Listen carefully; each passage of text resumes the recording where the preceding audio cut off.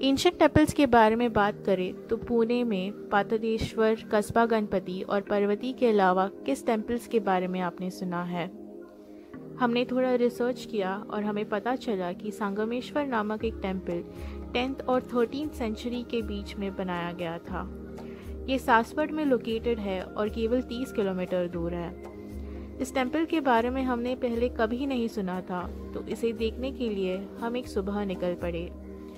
This is Sushmita from Wonderful Temples of India and welcome to our first video.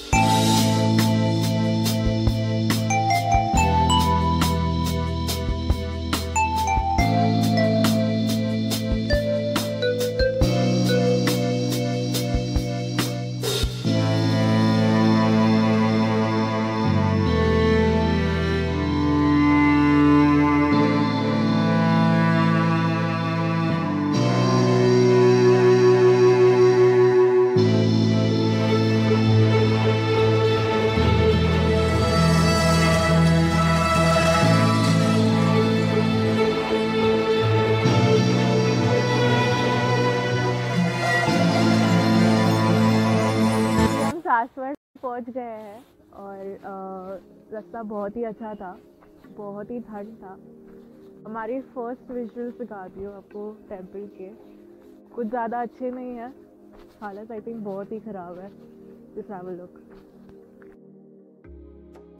ये temple का bridge है। पूरा टूटा हुआ है ऑलमोस्ट टूटा हुआ है एंड यही रास्ता है जो टेंपल की तरफ़ जाता है। Temple looks beautiful from outside but बाहर से ही पता लग रहा है कि इसको कोई मेंटेनेंस नहीं किया है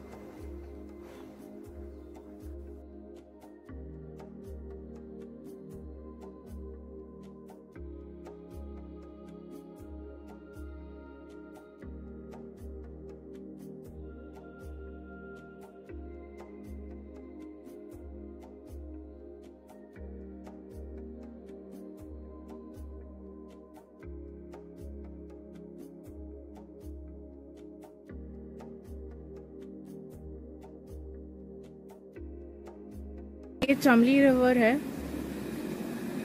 एंड uh, ये करवा रिवर है। ये दोनों का इंटरसेक्शन ये पॉइंट पर होता है। इसीलिए ये टेंपल को संगमेश्वर टेंपल कहता है।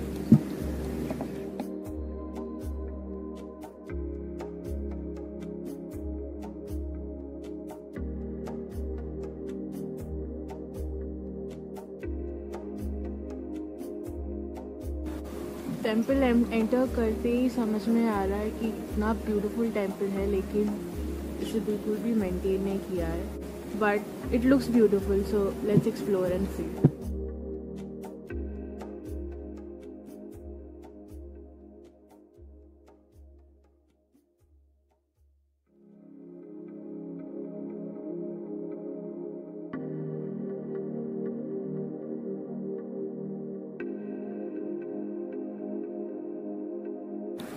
ये मेरी हाइट है I am five one and this Nandi I can easily say that it's around six या अराउंड सिक्स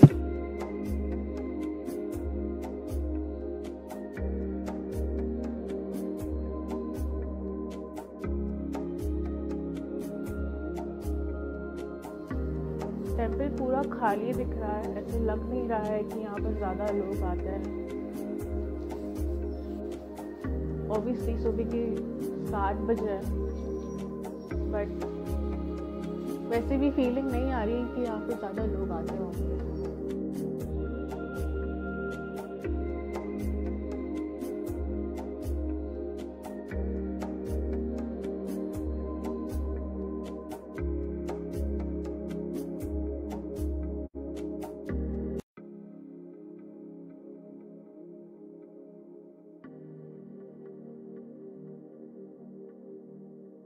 मंदिर का अंदर वाला मंडप है it looks pretty old lights नहीं है बट नेचुरल लाइट है बाहर का लाइट जो है वही आ रहा है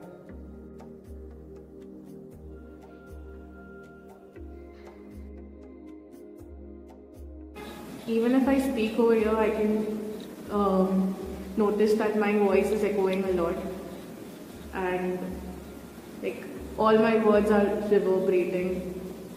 So I can presume that in the olden times, people used to sit here and meditate and uh, chant maybe, because this gives me, gives me the feel of that. Okay electricity चली गई है इसलिए आपको अंदर में कुछ दिख नहीं रहा होगा but there is a beautiful Shivalinga your and अंधेरा है काफ़ी I wish I could give you a close up, but there's no electricity.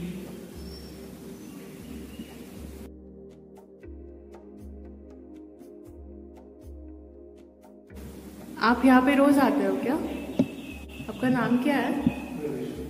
कितने टाइम से आते हो यहाँ पर बचपन से आते हो। ब्रिज वगैरह टूट गया है पहले ऐसे नहीं था ना?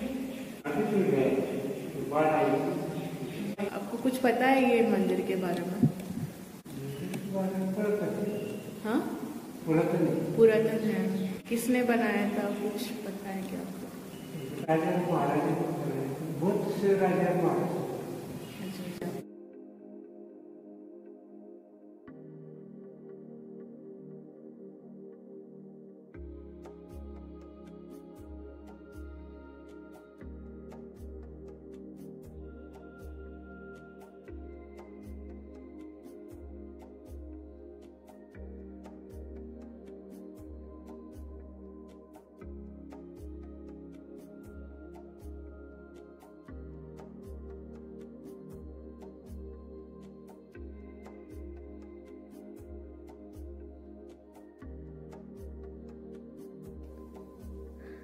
इंटरनेट पे जो इन्फॉर्मेशन अवेलेबल है उसके हिसाब से ये टेंपल यादवा डायनेस्टी ने बनाया है।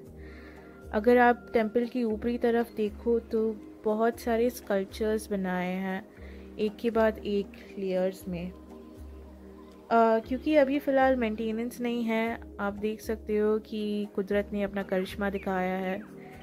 यहाँ पर बहुत सारे झाड़ उगाए हैं और बर्ड्स ने अपना घोंस घोंसले बना लिए हैं। आस पास आप देख सकते हो दो बड़े दीप मालाज हैं, एक लेफ़्ट साइड पर और एक राइट साइड पर। यहाँ पर एक तुलसी का पौधा भी है। इस तुलसी के पौधे के ऊपर अगर आप पानी डालोगे तो इसका पानी सीधा नीचे रखे शिवलिंग के ऊपर गिरेगा। ये बहुत ही खूबसूरत है। टेंपल के दोनों साइड पर घाट्स है और ये घाट्स पर और तीन शिवलिंग के मंदिर है। दो लेफ़्ट साइड पे और एक राइट साइड पे।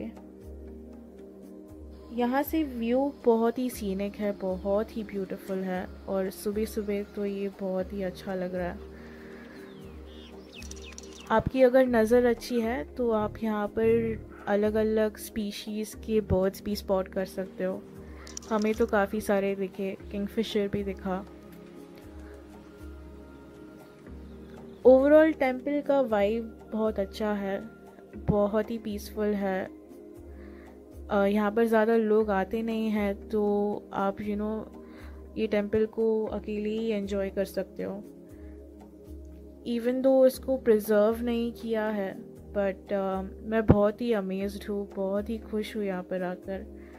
मेरे एक्सपेक्टेशंस इतने नहीं थे but I am very surprise apart from that this is a definite recommendation from my side this is a must visit एक बार तो डेफिनेटली आना चाहिए। अगर आपको ये वीडियो अच्छा लगा तो प्लीज़ लाइक दबाइए सब्सक्राइब कीजिए वंडरफुल टेम्पल्स ऑफ़ इंडिया को और कमेंट करके बताइए कि और कौन से दूसरे टेंपल्स हैं जो हमें विज़िट करने चाहिए।